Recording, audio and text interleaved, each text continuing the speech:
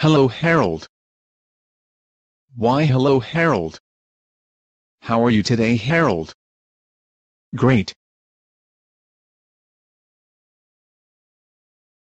Did you hear that a plane crashed and killed millions in Nepal yesterday? Yep.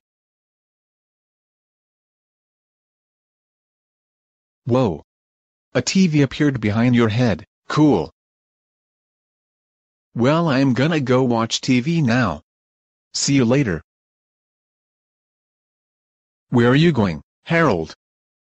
There is a TV in here.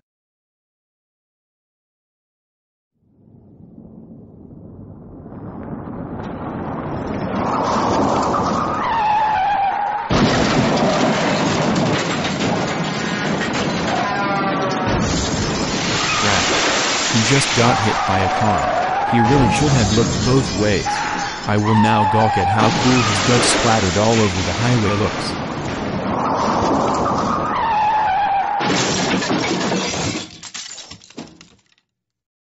Crap.